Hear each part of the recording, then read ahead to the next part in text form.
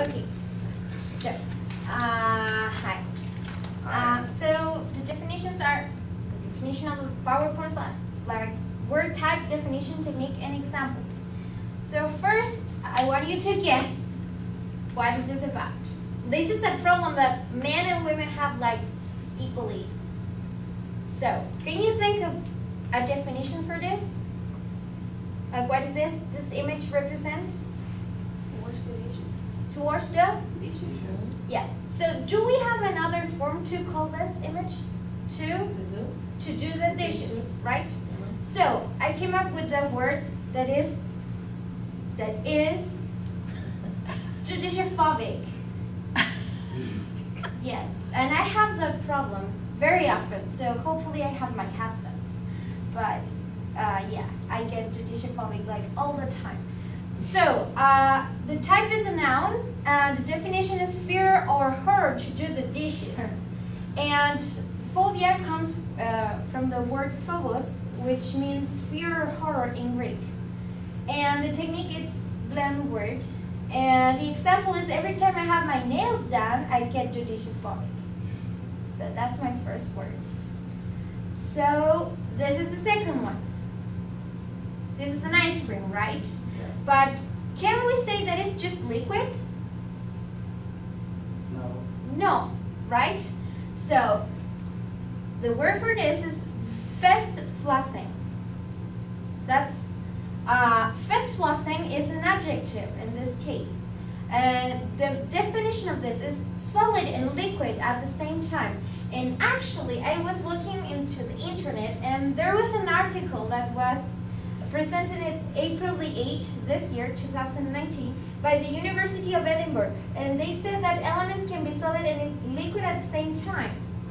So, uh, there's not a single word that can uh, that can explain this, but it exists. Uh, the technique is stolen from another country and also compounding, because in German it fest mean, means solid and flossing means liquid. So stolen from another language, but also uh, we combine them. So compounding too. The example this ice cream is fast flossing. Solid and liquid at the same time.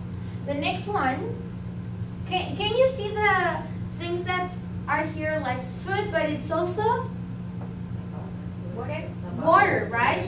Or juice or soda, anything. So, for example, sometimes we feel starving, but at the same time, we are thirsty.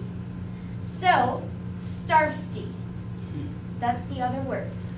And starvsty, it's an adjective. And starving and thirsty at the same time. And the technique it's blend word. Uh, example, after walking to Walmart, I'm so thirsty. That's my third word. But I have two more. I, didn't want to leave this out of the presentation. So, this is another word. This is very important because sometimes it could happen with family and friends, most part of the time with friends. So, it's when you, for example, the word is when you borrow some money or a camera or a cell phone or anything that you can borrow, but most part of the family or friends especially, they it's like a favor. You gave me that, but in my mind, I borrow. I you lend me that money. So borrow taken. What means this? It's a verb, and someone lends something, and it is never given back. Sometimes that happens, especially with friends.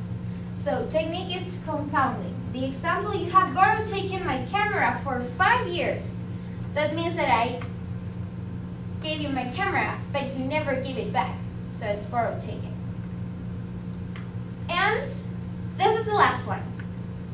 Uh, Diego, can you please read the question? Oh, you are talking to me again? Uh, Pilar, can you read the rest, please? Did you just break up with your boyfriend? Yes, that's a very common situation. But it's not like a couple thing.